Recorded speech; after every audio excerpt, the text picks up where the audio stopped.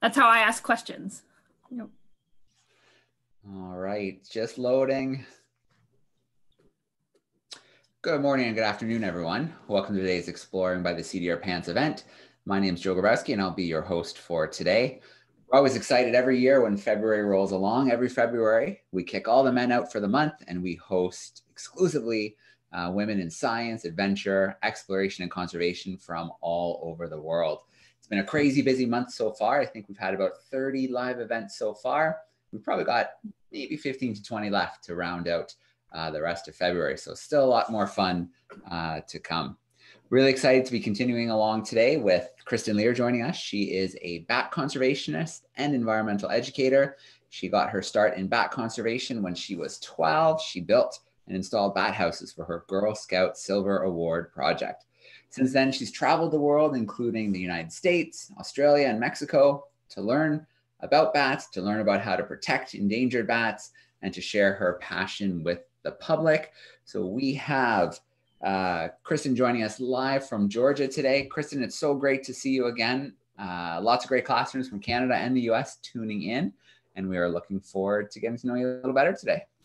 Awesome. Thank you for having me. I'm very excited to talk bats. Uh, like Joe mentioned, I am a bat conservation scientist, and I have been working with bats officially for about 12 years now since college. But I actually got my start in uh, sixth grade when I was 12 years old. So I'm going to share my screen because I have a PowerPoint um, with lots of pictures about my journey in bat conservation and how you all can help bats too. And at the end, we'll have lots of time for questions. So if you think of questions, just keep them up in your head or write them down and we'll have time for Q&A at the end. Okay, I'm gonna start sharing my screen. Let's see.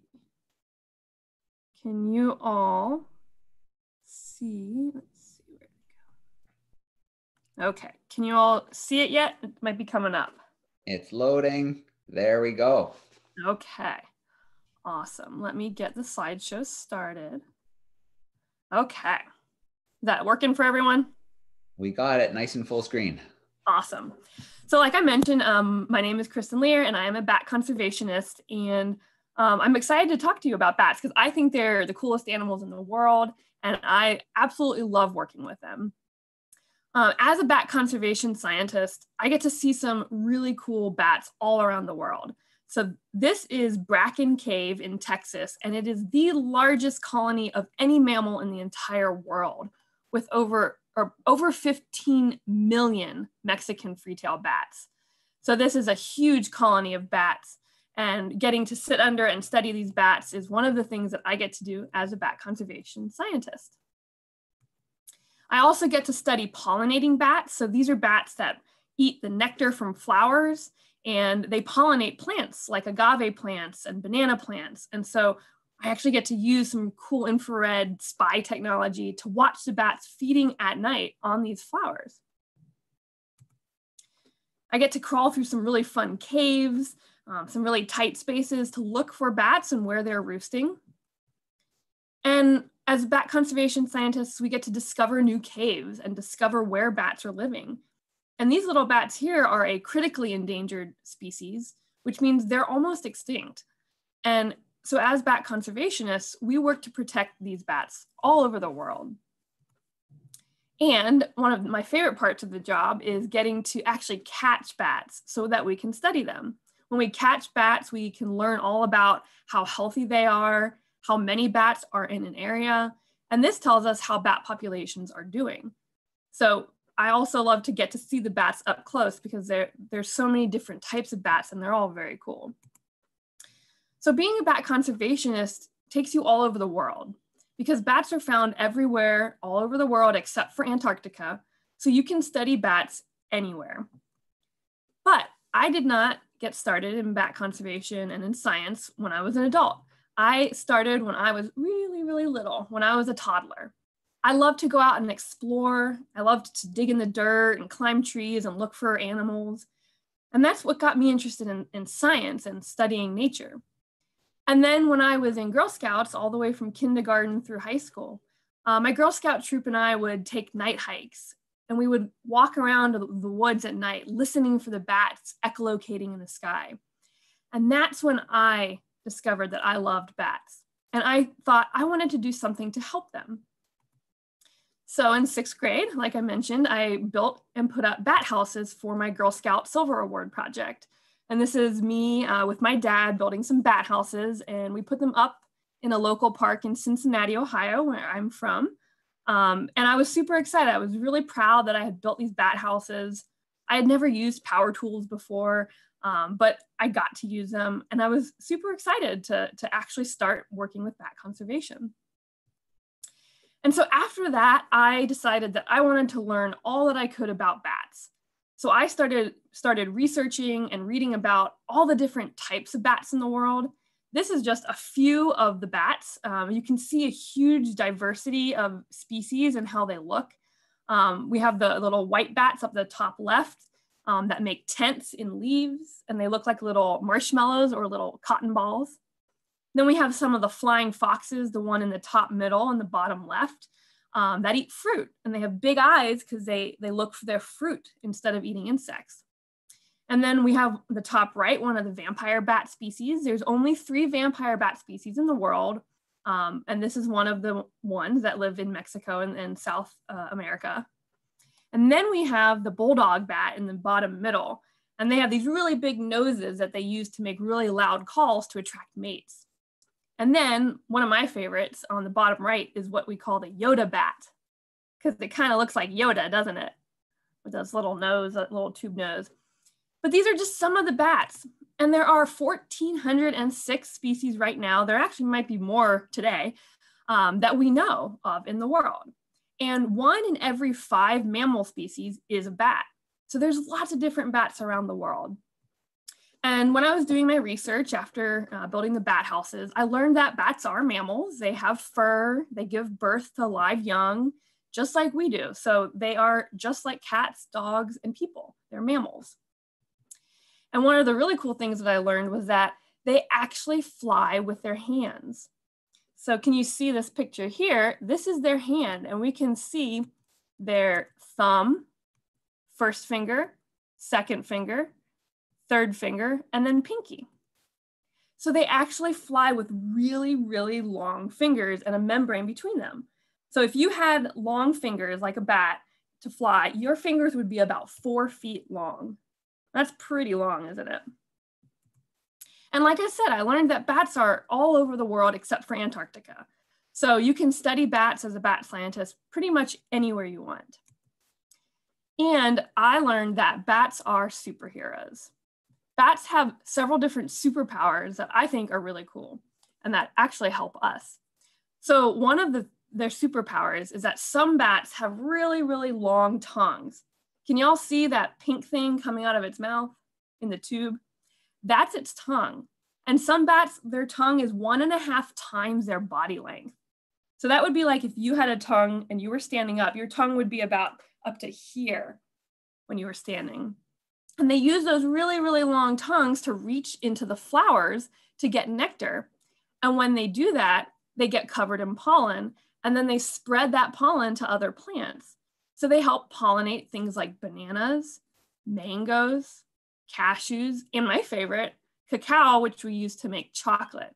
Who likes chocolate? Anyone like chocolate? Raise your hand. I see. Yeah. Without bats, we wouldn't have chocolate. We wouldn't have bananas. So we can thank a bat for their superpower of pollination. And they also have another superpower of seed dispersal. So which means they spread seeds all over the place and help regrow plants. A lot of bat species eat things like fruit. And when they eat the fruit, they eat the pulp and then they spit out the rest of the plant and they spit out the seeds. And that helps regrow things like tropical rainforests. So without bats, we wouldn't have tropical rainforests. And the third superpower of bats, which is one of my favorite, is that they control pest insects. So the majority of bat species around the world eat insects, things like moths and beetles and mosquitoes. So they help control these insect populations. And their really cool superpower is that one bat can eat up to its body weight in insects every night during the summer. So if you had to eat enough quarter pounder hamburgers to be like a bat in one night, how many hamburgers would you have to eat? I won't make you do the math, but you would have to eat between 200 to 600 or more hamburgers every night to be like a bat.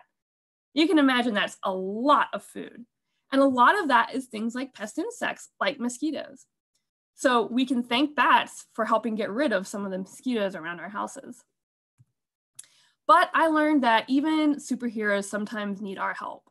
Unfortunately, bats are losing their habitat. Um, you know, we clear trees, we're disturbing their caves where they live. Sometimes people do kill bats, and they, there's also a lot of diseases that can, can hurt bats and kill them. So that's what we do as bat conservation scientists, is we study how to help protect them. And that's a big part of my job. But one of my favorite parts of my job is actually doing conservation work to help protect them and helping other people do that too. So one of the things that you can do, everyone can do this, is building and putting up a bat house, like I did in sixth grade. So these bat houses provide a home for the bats where they can sleep during the day and it's safe for them. And anyone can do this. So this is a kindergarten class from where I'm from in Ohio. They built bat houses at their school and put them up at their school. I've helped Girl Scout troops and Boy Scout troops with bat house building. And other groups, other kids, anyone can do this. And it's a really fun activity to help the bats. And this is what you get. When you get a lot of bats, these bats love these houses and they go in there and then they're eating all the mosquitoes around your area. So it's a great thing to do and it's, it helps the bats and it helps you. And as a bat conservation scientist, we also get to use some really cool equipment. Um, the, this video is an infrared camera that can see in the pitch black of night, and we can see the bats coming out of the bat house for the evening to go hunt the insects. Uh, we also get to use things like thermal cameras that pick up the body heat of the bats and you can see the bats landing in the morning and crawling up into the bat house to go to sleep for the day. And we can peek up inside the bat houses. So this is looking up inside the bat house. And you can see they're, they're in there, they're really tightly packed because they like to be close to together and close to each other to keep warm. And we can use infrared scopes on a little camera on a pole to look up inside and see the bats up in there sleeping. And they actually socialize a lot during the day too. Another thing that you can do is plant a bat garden in your yard or your school. So planting a bat garden would be planting flowers that bloom at night and that attract nocturnal insects, things like moths, that the bats can then come and eat. So you'd have your own little ecosystem in your yard and you'd be providing a, a food banquet for the bat, for the bats. You can also adopt a bat from a bat organization. Um, two organizations that I love and recommend are Bat Conservation International and Bat World Sanctuary that actually have um, adoption kits where you support um, a bat species or an individual bat that's in the care of the organization.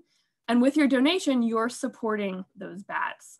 And it's a really great thing to do. I did that in, I think, third grade with a puffin through a zoo, and it was a, a fun thing to do as a class.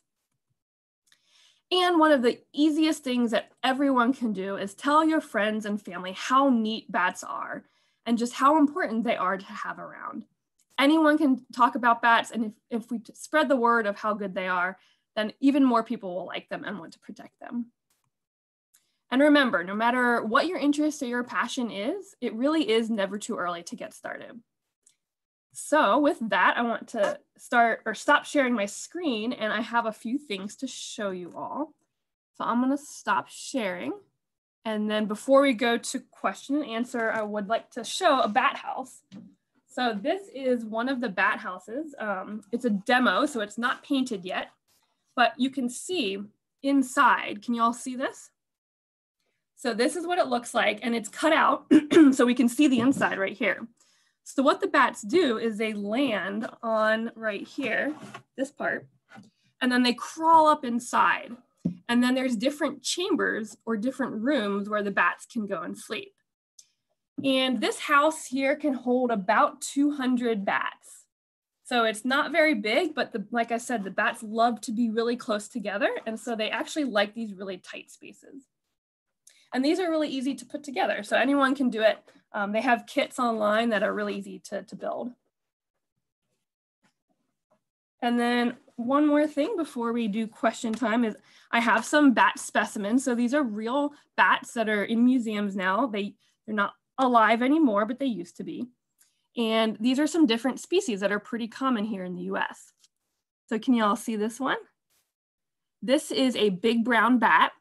And when I say big brown, you can see that they're not actually that big. They're a couple inches long. And like we showed before, these are their fingers up here, their finger bones. And this is their arm right here. And then they have their wing membrane. All of this, this kind of tissue paper substance is, is their membrane that they fly with.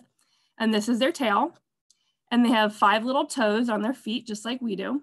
You can see the little toes. And they're, they're covered in fur. They're really soft, um, just like kind of mice, um, rats, the very soft fur. And I'll show you this one here isn't a red bat. You can see this one is more red than the brown bat. And it has a lot of fur on its tail. You can see the tail has a lot more fur than this one here. And that's because these red bats actually roost in the, the leaves outside in the trees. They don't roost inside caves or buildings. And so they have to have a lot more fur to stay warm. And so that's why this one's a lot furrier than this one. And then one more bat, which I think is one of the coolest bats we have here in the US. This is called the Mexican free-tailed bat. And you can see its tail sticks out. Can you see that? So the tail is sticking out there. And that's why it's called a free tail. And these are the fastest animal flyers in the entire world in straight flight. So peregrine falcons, which is a bird, a raptor, can, can dive the fastest in the air. But these bats can fly the fastest in straight flight. And they can fly up to 100 miles an hour. This little tiny bat, that's faster than we go on the highway in our cars. So these are pretty amazing animals. Um, they These ones eat, all the ones I've showed eat insects, things like beetles, moths, and mosquitoes.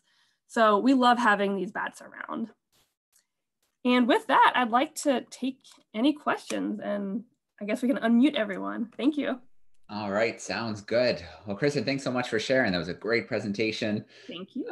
Um, and I think, you know, for some students out there who might not have been sure about bats, I think you might have convinced them that they play a pretty I hope so. Role. I hope so. All right, very cool. And we can get bat hands too. There we go. I think we can get that from the classrooms. What do you think? Bats? Raise your hand. Bat hands. If you want to ask a question. Perfect. There you go. All right. And uh, you can follow along with Kristen on Twitter for sure at Bats mm-hmm. for Life, which is pretty cool. Yep. Um, and I'm sure it's probably similar on Instagram. Do you have Instagram? I do. And it's, yep, lots of bats, lots of everything. All right. Very cool. Let's start meeting some of our classrooms. So I do want to shout out to uh, Mrs. Gary's class, second graders hanging out with us in Minnesota. They are on uh, YouTube, and I know we have some other students there as well, and I'm going to introduce uh, them shortly. But let's start with Mrs. Metcalf's group. Sixth graders hanging out with us in Salem in the US. Let me get that microphone turned on. How we doing, Salem? Hi. All right. My name is Olivia, and my question is, what is the most rare species of bats, and what is being done to save it? Oh yeah, there's so there are some bat species like that one I mentioned on in Australia, the critically endangered uh, southern bentwing bat. Um, so a lot of the bats that live on islands, very small islands like Fiji, um, are critically endangered, which means there's there can be less than a hundred or less than a thousand of them. And so to save them, what we do as bat conservationists is we study them so we basically try to figure out how many of them there are and what they need to survive. And then we work with the local communities, wherever those bats are, to do conservation work. So that might mean if the bats are living in a cave that's being um, entered by people, that might mean putting up a fence so the people can't go inside the cave and the, it will protect the bats. Um, so it's a lot of work with the local people wherever wherever that is and a lot of research too. Great question. All right, let's take another little trip here. Let's go to Flemington, New Jersey. Fifth graders hanging out uh, with Miss Nagy. Let's get that microphone turned on. How are we doing, fifth graders? Hi, you two. Hello, you two. Hello, Mama. All right, who's up with the question? Um, so have you ever been to Turkey for your bat research? Because Ooh. there are a lot of bats in Turkey. Yeah, that's that's a great point. I've never been to Turkey, but I've been to Hungary. Um, and I've actually gotten to go in some caves in Hungary to look for bats and, and see some bats. But I do want to go to Turkey someday. Great question. All right. We're going to visit with uh, Miss Wafer now. So Miss Wafer is joining us on behalf of her students. So from the Laurel awesome. Springs uh, online education program.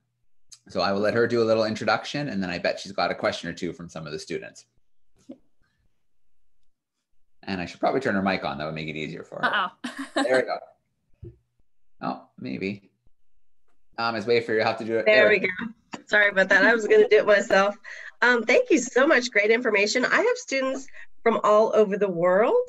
Uh, we're a virtual school, so they are in a virtual classroom asking mm-hmm. me questions that I can ask you. Neat. So I have a couple of questions. Two students actually in Michigan. Uh, Sky is in fifth grade, Autumn is in eighth grade.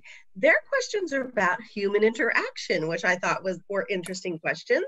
Mm-hmm. Um, Autumn's wondering why humans would kill bats, and Sky mm-hmm. is wondering are bats friendly and do do you know people like us have interactions with them or is it mostly scientists like you great questions um, so yeah um, sometimes people want to kill bats because they're afraid of them um, a lot of people don't understand bats because they're out at night we don't really see them a lot like we see birds during the day um, and so they're they're out flying around but bats are kind of mysterious because we don't get to see them that often and so I think a lot of people um, fear them when they shouldn't. And because of that, they might try to kill them. Um, if they have bats in their house, they might try to get rid of them. Um, and that's part of being a bat conservationist is working with people to actually um, teach them that bats are not nothing to be afraid of and that they're good to have around. Um, so that's a great question. And then, yeah, everyday interactions. Usually, bats, like I said, are out at night, so you're not really going to to interact with them as a, an everyday person unless you're studying them. Um, sometimes bats do get inside people's houses or you know their attics, and um, they might encounter them that way. But in that case, they're they are wild animals, so you don't want to touch them because they are um, they they can bite just like any other animal. Um, so you'd want to get an adult, and they can help get the get the bat into a box and then have it um, taken outside.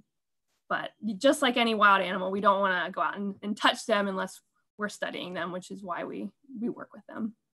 Great questions. All right, good questions. Let's take a little trip now. Let's go to Montana, Kalispell. We have uh, a couple classes hanging out with us there with uh, Miss Sinclair. Let me get that microphone turned on. How we doing, Montana? Hi. How do you catch the bats? Oh, that's a that's a great question. I actually have. I'll be right back. I can show you how we actually catch them. So give me one second.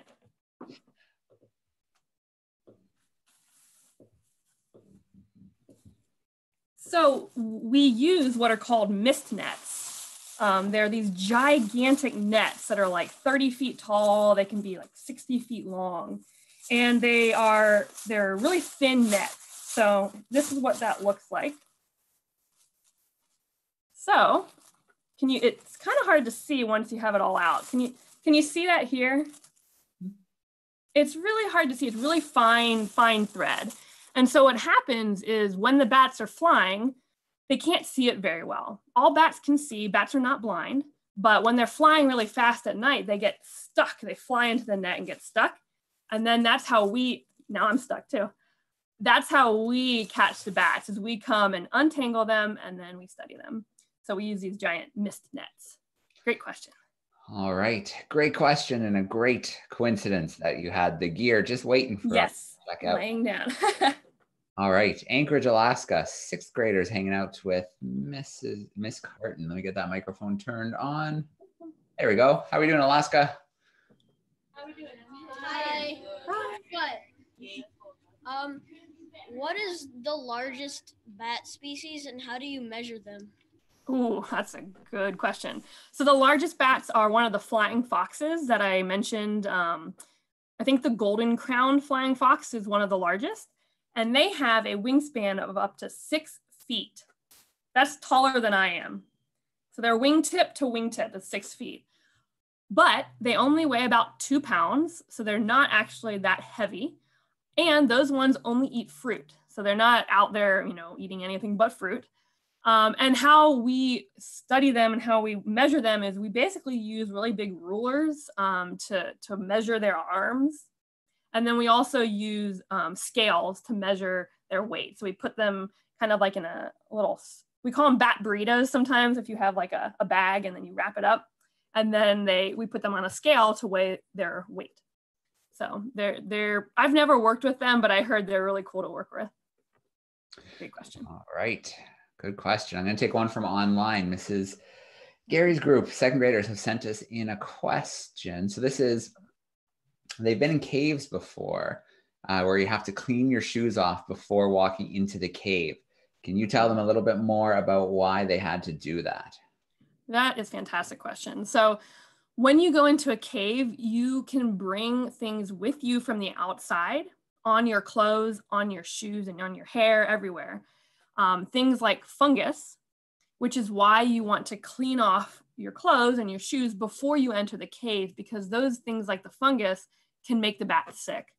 And unfortunately, um, one of the diseases that we have in bats here in the US um, and Canada is white nose syndrome, where the bats get a fungus on them and it grows when they're hibernating and it wakes them up from hibernation in the middle of the winter. So they get really hungry and they fly outside the cave looking for insects in the middle of the winter. And there is no food. so they either starve to death or they freeze to death. and so this is a really bad disease. And so that's why we want to protect the bats from things from the outside by cleaning your shoes. Great question. All right. Let's visit another one of our camera classrooms. Let's go to Spruce Grove, uh, Alberta today. We've got mm-hmm. Miss Holden's got looks like a few classrooms hanging out with her. Let's get that mic turned on. What are we doing, Alberta? I'm good. And my question is, what is the life cycle of bats? Ooh, the life cycle. So how long they live or like how the different stages, how long? So that's another superpower of bats is that they're about that size. So you might think they live two to three to five years like rodents, um, even though they're not rodents they can live up to 40 years or longer in the wild, which is crazy. So actually a lot of scientists are studying bats to figure out, is there something in their DNA or in their, um, their body that, can, that we can use to help us live longer and healthier lives? Good question. Right. Good question. So uh, just to build on that a little bit with their life cycle, how long uh, do they stay with their parents? Oh, good question. Usually it's about a year. Um, that's that summer. They're born in the summer usually.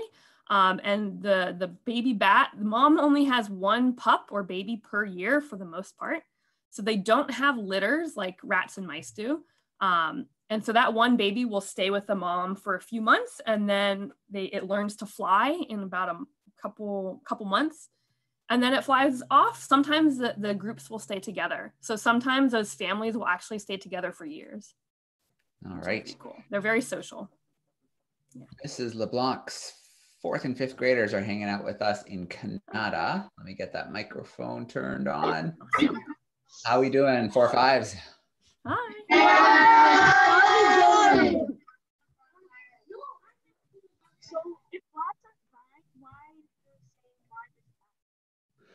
Oh, but yeah, can you come a little closer, maybe a little louder? if, if bats aren't blind, why is there saying blind is not? Great question. It's it's just one of those sayings that is not true. It's a myth. Um, I think it's because people know that they're out at night, and so people think because they're out at night they don't need to see, so they don't have eyes, but they actually do. They have eyes. They all can see, um, but that's one of those myths. Yeah, good question. All right. I think we can, we've got enough time. We can probably speed round through our classrooms again, but I do mm-hmm. want to grab another question from uh, Miss Gary's class. It was an interesting question here. Let me see if I can back up and find it. Oh, okay. Um, they're wondering if there are somewhere you could find like a list of plants that you could plant in your garden that would be good for bats. Yes. So um, where where is that? Where are they from? That class? I believe they're in Minnesota. Yeah. Awesome. Minnesota. So um, every state is different, you know, because every state has different plants that grow well. Um, but you should check out the like local Department of Natural Resources or the Wildlife Department in your state to see if they offer any lists of flowers. Uh, for example, here in Georgia, where I am, um, the Department of Natural Resources has a list of no- nocturnal flowers that can attract bats. Um, so check that out, but feel free to email me too um, or on social media and I can help find that information. All right, perfect. Let's start jumping back into our classrooms. Let's start back off in Alberta. Uh, Ms. Holden's group, your mic is on. I love your headband. That's great. Has a tail too. oh, that's so cool. I have bat ears too, so I, I love that kind of stuff. Why are the um, white bats um, white? Mm. Are they like albino? Good question. So they're not albino. They're just white and they have black eyes. So they're they're not albino. Um, but I think one of the reasons we think that they're white is because they they roost in the leaves of plants. So like here's a leaf on a plant and they roost up inside of it. And if you're a predator that's looking up, the sky is up here, right? And the sky is usually bright, like white. And so when the bats are in there and they're white, they actually blend into the sky. And so it's hard for the predators to see them. And so it helps them camouflage. So you might not think of white as a camouflage, but in this case it is. So it helps protect them. Great question. All right, heading back to Anchorage. Does our group have another question? Uh, hi. Looks like they're thinking. Here comes someone. So we had lots of, just out of curiosity, as, as part of this, we had a lot of ew, bats and rabies, and and I didn't hear the word rabies come at all. So I'm curious about that. But go ahead and ask your question. Um, um, how do you tell if a bat's a girl or boy? And how do they meet? How, and how do they mate? And if and did someone ever came in a Batman costume before? That's a lot of questions. That's a lot of questions. Okay, I think I can do that. Let's see. So, how can you tell if, a, if they're a boy or a girl? Well, they have the same body parts that we do. So, that's one of the things that we do is we look when we find a bat, and I can show you here. So, we just turn it over and we look to see if they have the genitals of a male or female, and that's how we tell. Um, and then also, when they're looking for mates, every species is different, but what a lot of bats do is they have these swarms in the fall when they're mating. So they'll all swarm together outside of a cave or where they roost. And that's how they kind of meet each other. It's kind of like a going out to a club and socializing, and that's how they find each other. Um, but every bat, every species is different. So there's different ways of, of meeting each other. Um, and then Batman, what was that called? The costume? I've definitely worn a bat costume for sure. And people love Batman. So that's a, a fun thing to do. All right. Good work taking that multiple uh, load of questions. Let's go to Yeah. Miss Metcalf's group now. Uh, we'll squeeze another one in from you guys. Uh, my question is, have you ever uh put a tracker or tag on a bat? Yes, I have actually, and they they're these really small trackers, like I don't know, the size of a pencil tip or the pen tip. Um, and then we actually just glue them on the back of the bat with surgical glue. It's what doctors use to heal wounds on people. Um, so you glue that on, it lasts for a couple weeks usually, and the bat flies away with it, and then we can track it. We can hear the beeps as they fly around. And that's how we actually tell where they go, whether where they're eating and where they're sleeping. Yeah, it's it's pretty fun to do. Question. All right. Let's check in with Miss Wafer and see if she has another question uh, from the online community. All right, I want to thank you for answering. Jessime in fourth grade from Mexico was asking about the biggest bat. So you answered that. Thank you so much. Awesome. Yes. Uh, we're getting a lot of questions about uh, what the other person just was, other teacher said, rabies and um, other diseases they might carry. And also, I mean, there are myths, of course, about bats biting people. And so they're asking a lot of questions about do they and why would they and those kinds of things. Yeah. So so yes, they can bite just like any wild animal, any dog, cat, anything with teeth can bite when they're threatened, which is why we don't want people to pick them up um, because they can bite. Uh, in terms of rabies and getting sick, um, rabies is actually less than one half of 1% of bats in the wild have rabies. Um, so it's a very low percentage. But if you do find a sick animal on the ground, you know, any animal, it, it's likely to be sick if it's on the ground and acting weird. And that's why you don't want to touch it. Um, but in general, rabies, we don't have rabies here in the United States. Um, it's, it's in Mexico and south um, of Mexico. Uh, so we don't have any, uh, or sorry, we do have um, vampire bats um, in Mexico. We do have rabies in the US, but not vampire bats. And vampire bats are the ones that feed on blood. Um, and so the vampire bats, like I said, um, there's three species of vampire bats in the world. And they usually eat things like birds. They usually prey on livestock, so things like cattle and sheep. Um, not so much people, but they can um, because they do need blood to survive. But we don't have any vampire bats in the US. So yeah, it's a great question. All right, Ms. LeBlanc's class, your microphone is on again.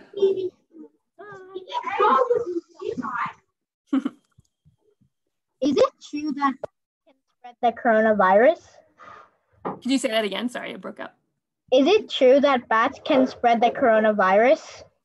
So I'm I am not a virus expert, um, so I don't want to say yes or no, but they can carry diseases like viruses, um, which is why people are studying them so much. So it, it is, could be that they do carry that and spread it, um, but that's a really good point that we actually are studying bats about why they can carry viruses and not get sick themselves. And we're trying to learn how they actually um, can do that and not get sick. And so how can we use that to, to help our immune systems? Yeah, good question. All right. Good question and very topical. Yeah. Uh, Montana, Miss Sinclair's group, your microphone is on. Hi. Um, I've heard that some fish go blind after a while after they've been in the dark. I was wondering if they if that's how they developed um, echolocation. Oh, that's a good point. Yeah, those so those cave fish that are only in the the caves and they only live there.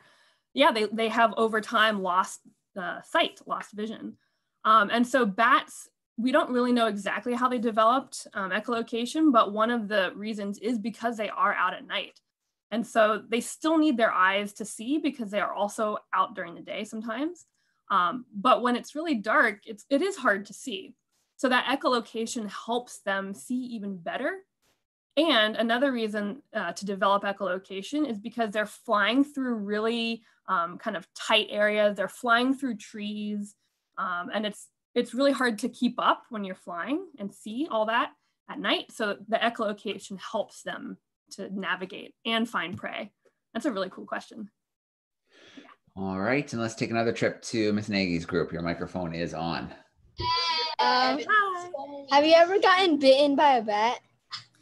I've gotten bitten once. Um, we always wear gloves when we handle bats, live bats, because, um, like I said, they can bite.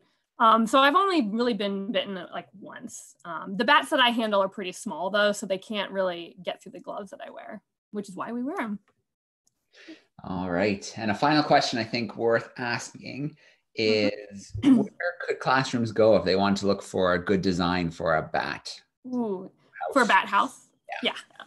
Um, so on the internet, Bat Conservation International actually has um, plans online where you it gives step-by-step instructions of how to build bat different types of bat houses.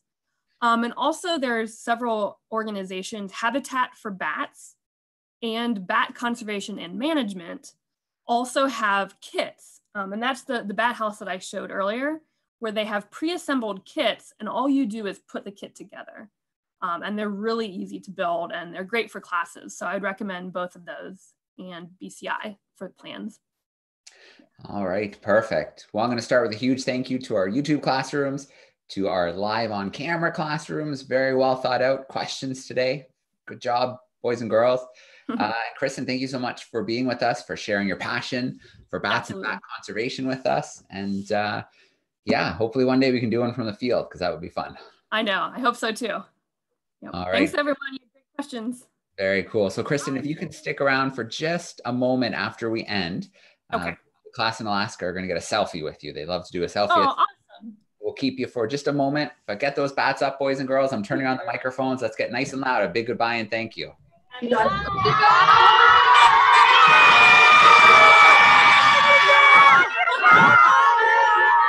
All right. Awesome work, everybody. Thanks so much for hanging out today. Uh, lots of events coming up next week. We hope to see your classrooms again. So we are signing off for today.